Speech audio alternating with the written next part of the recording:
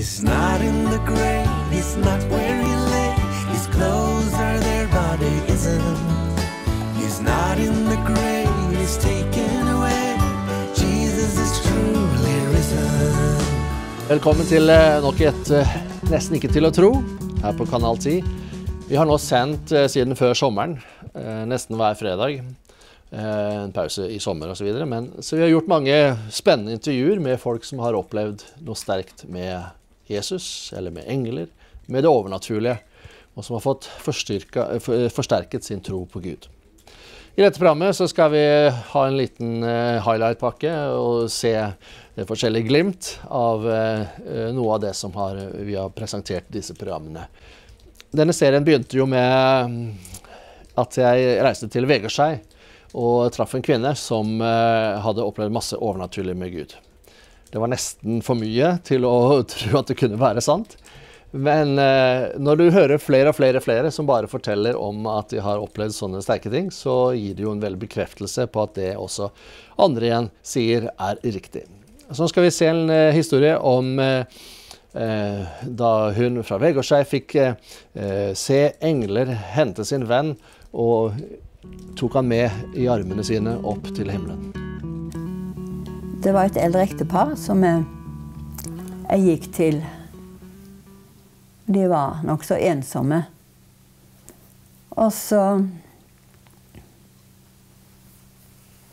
Så øh, Mannen var ikke frelst. Og kona hun hadde fasta og bedt i mange år for han. Men så, en dag, så ble han frelst. Og da var han frelst de to siste månedene før han døde. Ja. Og jeg reiste. Og da fikk jeg være sammen med de de to siste timene før han døde. Og idet han døde, så opplevde jeg Så sier jeg til kona at du, se, nå, nå er det engler her som kommer for å hente han. Kjente du ikke det på kraften? Jo, sa hun. Hun kjente det. Men du så det ikke? Hun, ingen av oss så det. Vi bare kjente det. Og da kjente jeg det at nå skal jeg la hun være der alene ved senga.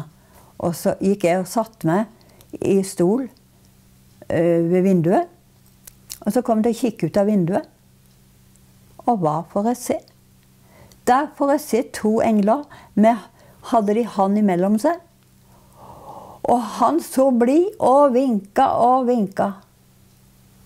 Jeg ble helt sånn Det var helt fantastisk.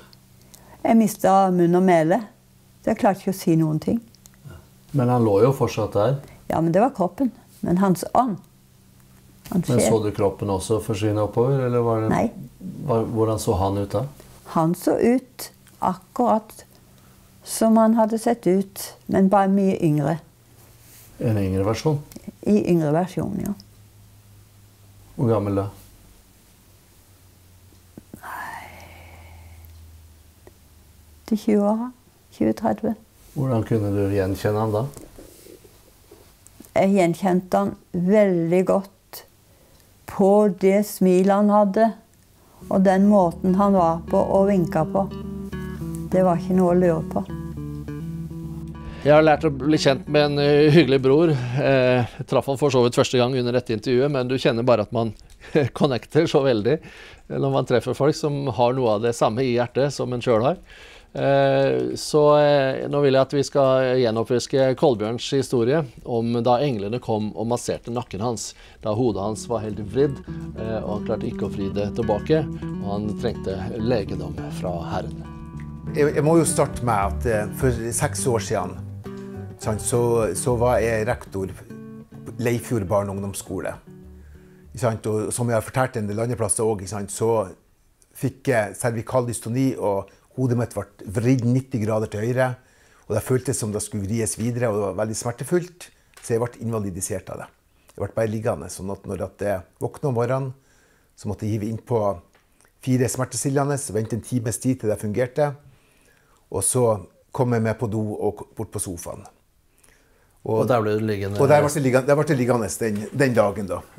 Og, eh, Og jeg, jeg, var- jeg var til kiropraktor, og jeg var til fysioterapeut, og jeg var til legen. Og, og etter hvert så fant de ut at, at det var den dystonien, og de sendte meg til en nevrolog i Mosjøen. Og han sa det var det verste tilfellet han drev på å behandle. Og jeg fikk noe Botox av han, så han sa at skulle begynne å virke i løpet av ei ukes tid. Men altså, det, det fungerte ikke. Jeg var fortsatt like forvridd. Noe av smerten forsvant med det. Men eh, det fungerte ikke. Og så ga han meg noe Parkinson-medisin og forskjellige andre ting som jeg kunne prøve. Men ingen av tingene det her fungerte. Og da begynte jeg å bli deprimert. Og så, mens jeg, så søkte jeg på nettet, og så fant jeg en mann som heter Stig Ove Gisnås. Som var frimodig og sa at han kunne helbrede folk i Jesu navn. Altså, jeg, hadde jo ikke den helt store trua på det, men det er klart, er man syk, så er man villig til å prøve alt. Så kona mi kom fra jobb, og jeg tok noe, nevnte her for henne. Ja da, hun sa hun kunne kjøre meg til, til mor, for jeg tok jo og snakka med han Stig Ove på telefonen. Så, så hun kjørte meg inn der. De hadde et husmøte, og han snakka om Gud som lege, og der var lovsang. Og så la han jo hendene på meg og befalte sykdommen å forsvinne i Jesu navn. Og mens han holdt hendene på meg, så var jeg helt fri i nakken. Jeg hadde ikke noe dragninger noen veier. Men så tok han hendene bort fra meg, og så kom litt av de dragningene tilbake. Men likevel ikke så mye at jeg ikke kunne sitte. Så når jeg kjørte derifra, så, så kunne jeg jo sitte i bilen. Men, men før jeg for, så var jo han i frelsesbønn med meg. Han, han ba jo, og jeg ba etter. Og så sa jeg da til Gud at hvis du helbreder meg, så skal jeg gjøre alt det du ønsker resten av mitt liv. Og, og så hadde han Stig Ove liggende ute en YouTube-snus som heter De troendes bønn. Og en av de tingene jeg tok nå, altså ba i lag med han på den, det var jo om at Guds engler skulle komme og helbrede meg. Altså, nå, nå hadde jo ikke noe forhold til engler heller, altså, men jeg tenkte kanskje i natt at det kanskje for en engel forbi senga eller et eller annet. Men jeg satt og ba, og så plutselig så kjente jeg to hender som la seg på skuldrene mine. Og jeg snudde meg jo bak for å se, men jeg så ingenting. Men det her begynte å massere meg. Og jeg hadde jo vært, som jeg fortalte, så hadde jeg vært til fysioterapeut, så det var jo egentlig som å, som å vatte fysioterapeuten. Men, men så, så, så dreide jeg på veldig lenge, den her. Og så etter hvert så begynte jeg å bli ganske hardhendt. Så eh, opplevde jeg til slutt at, at hodet mitt ble, ble, skua ned i sofaen, og jeg ble redd. Så jeg reiv meg ut av det her. Og så sprang og, og la meg bak, bak kona mi og holdt rundt henne og følte litt trygghet der, da. Og så, men om morgenen når jeg våkna, så hadde hun funnet på jobb. Og jeg var jo fortsatt litt eh, redd. Så jeg for jo ut av huset og prøvde å ringe, ringe opp han, eh, han Stig Ove Gisnås. Fikk noe først ikke noe svar, så sendte en melding om at etter han var gærent han fikk ta kontakt med. Så ringte han meg jo, og så spurte han noe som var skjedd, og jeg fortalte noe historie. Men så sier han men Kolbjørn, det der er jo de englene som du har bedt om. Ja, men så sier De var jo ganske hardhendt. Ja, sa han, noen engler er litt hardhendt. Så han sa jeg hadde ingenting å være redd for. Ok, Så da gikk han inn i huset igjen, og, og da kom de her eh, hendene igjen. Men da visste de jo at det var Guds engler. Og I begynnelsen så var det veldig forsiktig massasje, men så ble det mer kraftig etter hvert. Men så, så har jeg jo vært til fysioterapeut, og hvis andre òg har vært der, så vet jeg at av og til så kan de holde litt, kanskje litt sånn Nettopp hvis du har noe spenning og sånn, for at de spenningene skal slippe taket. Og, og det var jo det som skjedde. Og denne behandlinga hadde nesten en par måneder. Og, og, og jeg vet at altså Gudene kunne selvfølgelig helbreda meg med en gang når jeg ble bedt for. Men, men så tenker jeg at jeg kjente så lite til Gud at han ønsker Men det er det, det jeg tenker rundt det. Ja, ja. Altså, altså, at han ønska nok at jeg skulle bruke tid og bli mer kjent med han. For, for det er klart, Hadde jeg funnet på jobb dagen etterpå og alt vært helt greit, så, så, så jeg at ja, det her hadde vært en spennende historie, men det hadde ikke kommet til å påvirke meg så mye som, som det har gjort. Jeg brukte jo mye tid mens jeg gjorde det, og ba. og og på, og på et vis opplevde gudsnærværet. Altså, sånne ting som ikke De sa ingenting til deg? Nei, nei, nei det, det, det, var, det var stille. Det var, Du kjente henne, ja, liksom? Ja, ja, det var det. Ikke sant? Altså, det var jo da at jeg kjente altså, jeg hadde vært til fysioterapeut. Som om det var en bak deg? Om du Ja, hadde lukket ja. øynene og en gjorde det samme, så var det samme følelsen, Ja, egentlig? ja, ja. Det, det, det, var- det var jo sånn det var. Dere husker kanskje innslaget vi hadde eh, utenfor Drammen, eh, et fantastisk nydelig sted som heter Klokkarstua, med en tidligere organist og kantor eh, som eh, opplevde at eh, når han var misjonærbarn som liten gutt, så så han pappaen komme hjem fra jungelen tett fulgt av seks engler som passet på han. Hør denne historien. Det var den gangen vi bodde i Asunción i Paraguay. Mamma og pappa bestyrte et eh, barnehjem langt inn i skogen eh, som het El Redil. som på spansk betyr eh, redet. Rede, fuglerede. Og der eh, var det sånn at i Frelsesarmeen, hvor de var misjonærer, da Der var det sånn at man sa, samler inn penger til egen drift. Det er ikke noe penger du får, gaver og sånt. Det får man jo, men av og til så må man gjøre noen innsatser. Så var det en kveld pappa var ute på et møte langt inn i jungelen, da. Og øh, så var det vel sånn da at eh, hun var sammen med fem andre venninner og satt og ba for at pappa måtte komme trygt hjem med pengene gjennom skogen alene. der. Som han hadde samla inn Som han samlet inn på et møte. ja. Og så gikk de da Ja, var det ofte at man kunne bli ranet og Det hendte jo at man hvis det var en hvit mann med en pengepung, så så kunne det gå galt. Jeg satt jo ved vinduet da, i en slags sånn living room og kikket etter pappa. Og ventet og ventet på at han skulle komme hjem. Mens mamma og venninnene de var da i et tilstøtende rom. Og det var ikke uvanlig at hun hadde bønnestunder sammen med dem. da. Og så var det sånn at plutselig så ser jeg pappa kommer sammen med seks menn eh, sånne helt sånne hvite drakter, og de, de, var, de lyste, liksom. Og så hadde de sånne lange stokker og staver, eller jeg vet da søren hva det var for noe, men ja, en slags sånn stokker. Jeg la merke til det. Og så var de da veldig lysende. Mennene lyste. Og pappa hadde en rank og fin gange, og gikk midt mellom dem. og tre på hver side. Ja, det husker jeg veldig sånn. Og de kom da inn på eiendommen og gikk oppover hovedinngangen, og så opp eh, stien til huset. Da løper jeg selvfølgelig bort til døren og åpner døren, og så, og så spør, spør jeg pappa hvor er mennene blitt av. Det er ikke noen menn her, sånn. Jo, du, du, du gikk jo sammen med sånne masse menner. Nei.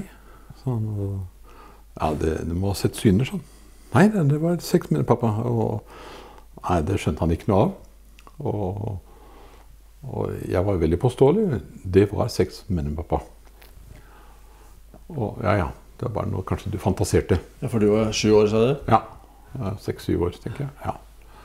Og så ble det ikke noe mer snakk om det. Og så gikk jeg inn til mamma og så pappa kom kommet. Han kom sammen med seks menn, men de er borte nå. Og pappa sier at de var ikke der. Og med den konsekvens at mamma ble litt stille, og så sier hun da det var engler. Og vi er seks stykker, vi som er her inne og ber for pappa.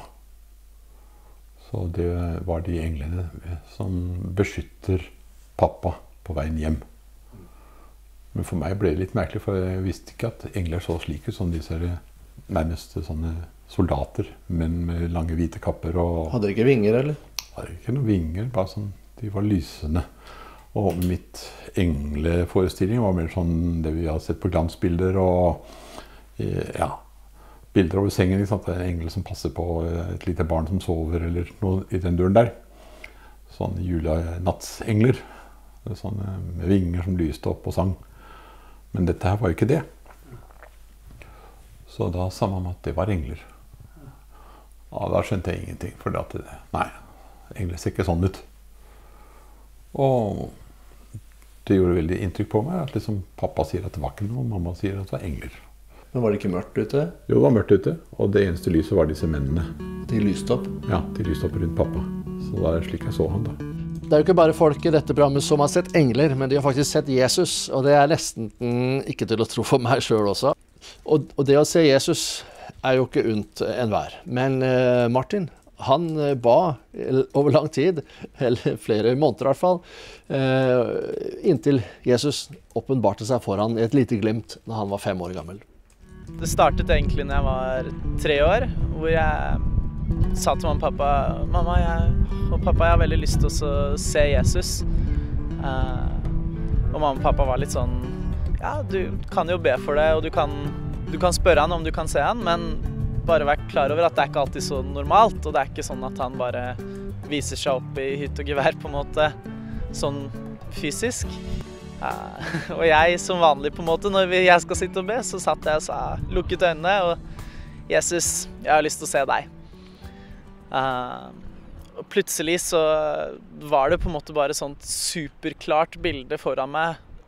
Et sånt utrolig klart skinnende bilde av helt sikker på og overbevist om at det er Jesus i dag. Som sto foran meg og bare liksom viste seg der. Eh, og jeg åpnet øynene og så på mamma og bare 'Mamma, mamma, jeg så Jesus'. Uh, og mor har sagt i etterkant at uh, hun er så overbevist om at det var Jesus. Og jeg er selv overbevist, for det kommer en sånn, en sånn kriblende følelse i magen hver gang jeg forteller om det. på en måte.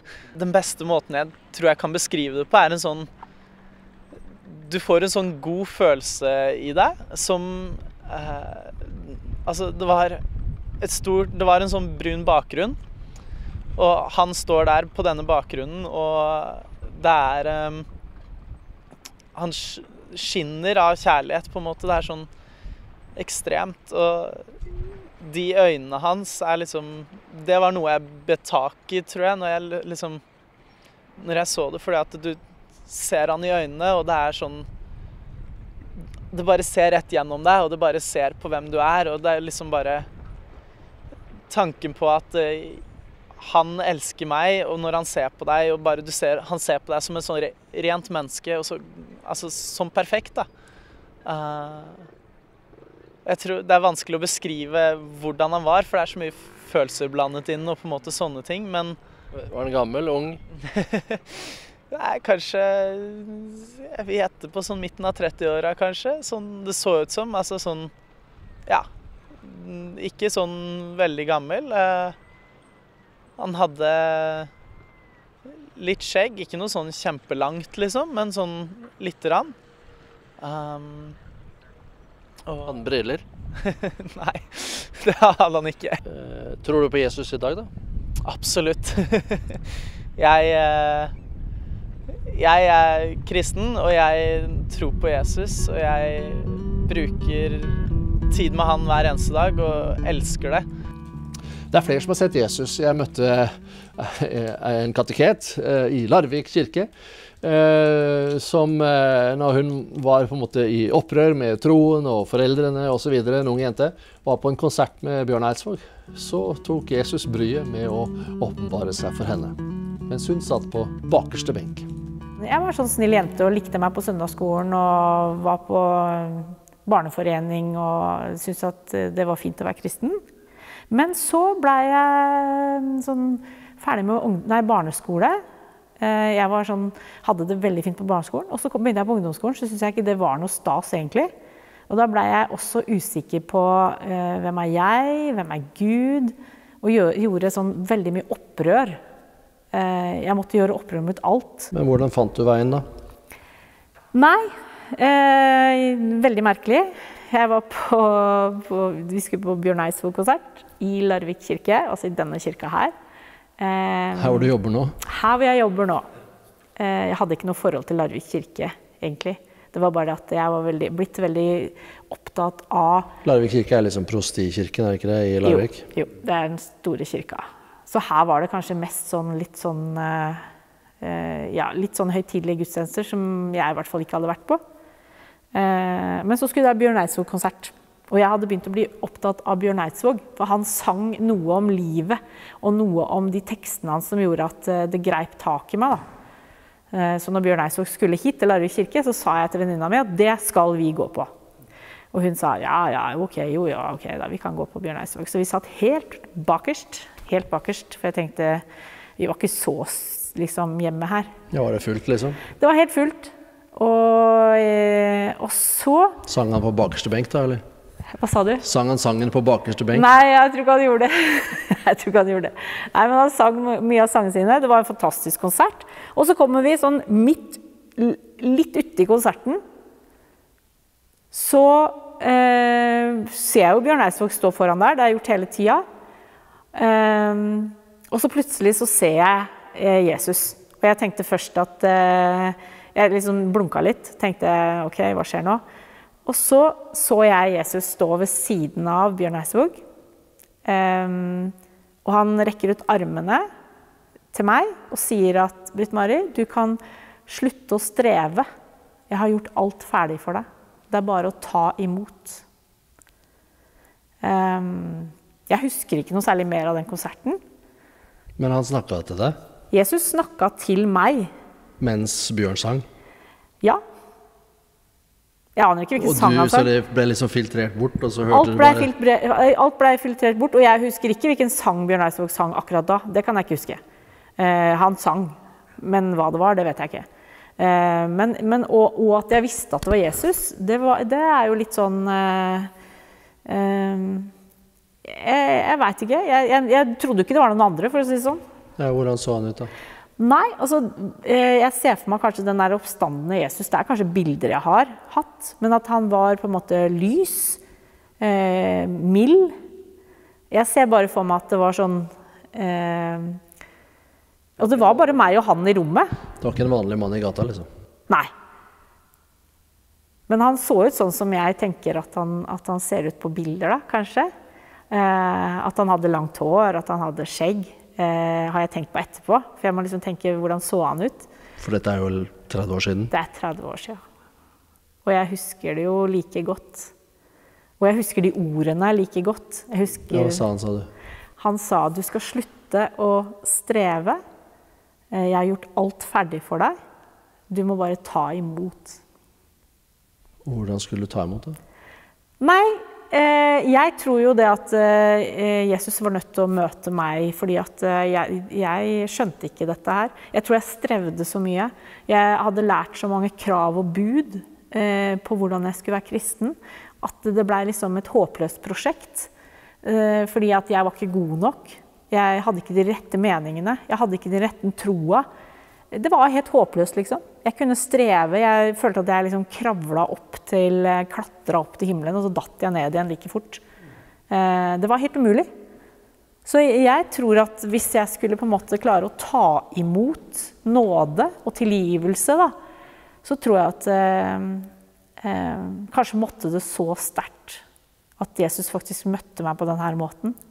For da var jeg ikke i tvil om hva nåde var etterpå. Jeg var ikke i tvil om hva, eh, hva det betydde, for jeg kjente det jo der og da. At eh, nå, nå skjedde det noe med meg som gjør at jeg, jeg, at jeg kan ta imot. Da, at jeg ikke behøver å altså jeg, det er, jeg kan ikke komme meg til himmelen aleine. Det er kun Jesus. Det er ingen andre som kan på en måte gjøre det prosjektet. Så Jesus sto rett og slett bak deg der? Jesus sto bak meg her. Og det var, bare, det var nesten som at det var bare meg og han i hele rommet. Eh, Hvor lenge varte det, da? sikkert ikke så lenge. Kanskje 30 sekunder, 40 sekunder, hvis jeg skal tippe. Hva skjedde med deg da? Nei, jeg blei helt satt ut. Jeg blei eh, ble fullstendig sånn eh, at jeg ikke eh, Jeg prøvde å fortelle til venninna mi som satt ved siden av. Så du han? Så du Med en han? gang, liksom? Ja, med en gang. Mens vi satt helt bakerst. sant? Så du han? Han sto foran deg. Ja, hva mener du? Jesus, han sto foran deg. Hva mener du? Hun bare så rart på meg og tenkte nei, nå er det rabla for Britt Marie her. Og så sa hun bare nei, vi snakker om det etterpå, da. Det, det går bra. Vi snakker om det etterpå. Og så Jeg var helt satt ut. Så jeg ble ganske Først så ble jeg liksom bare sånn, og så, og så satt jeg bare og tenkte at eh, det, det her skjer ikke, tenkte jeg da. Men du ble ikke rørt, liksom? Um, nei, ikke mer rørt enn jeg er nå, tror jeg. Bare at jeg ble satt ut. Følte, bare følelsen av at det var liksom Jeg ble For satt det ut. er mange andre som kan si at de begynner å gråte osv. Ja, når de nei, jeg begynte ikke å gråte. Jeg bare blei satt ut. Eh, Ga det deg tro, da? hva sa du? Ga det deg noen form for tro, eller? Ja, det var, det var det jeg sier. Jeg opplevde nåde der og da. Altså, det var liksom første gang jeg hadde, at jeg hadde opplevd nåde. Jeg tror aldri jeg opplevde det før. Så han i øynene dine, liksom? Eller Ja. så han liksom bare ut i salen her? Nei, så i øynene mine. Så det var en personlig Det var personlig. Det var bare, som jeg sier, at jeg, jeg husker det nå når jeg står her nå også, at jeg husker at det blei liksom jeg vet, jeg vet at Bjørn Eidsvåg spilte, jeg hørte musikk. Jeg så at det var mennesker, men jeg hørte bare Jesus. Da er det bare på tide å kunne ønske alle sammen riktig godt nyttår. Og eh, vi håper at 2020 blir et fantastisk år hvor Gud åpenbarer seg enda mer for mennesker. En skulle tro at Jesus er i ferd med å komme igjen, i og med at det begynner å skje mer og mer sånne åpenbaringer som eh, også skjedde på Jesu tid. Eh, Det har sikkert skjedd også mye annet i historien, men det står jo noe om at eh, det skal skje enda mer eh, når dagen nærmer seg for Jesu gjenkomst. Så hvis ikke du er rede for Jesu gjenkomst, så bør du bli det. Da må du be Jesus inn i hjertet ditt, og la han få ta over føringa på livet ditt. Bekjenne dine synder, og oppleve å gå et fantastisk rikt liv med velsignelser fra det høyeste. Fra himmelen. Fra Gud himself. Han er din far og ønsker å være far, pappa for deg, slik at eh, du får et godt liv. Godt nyttår, og Gud velsigne deg. La meg slippe å si ved livets slutt Jeg skulle ha søkt ham først Jeg skulle ha løftet opp mitt blikk Og sett den modne høst La meg slippe å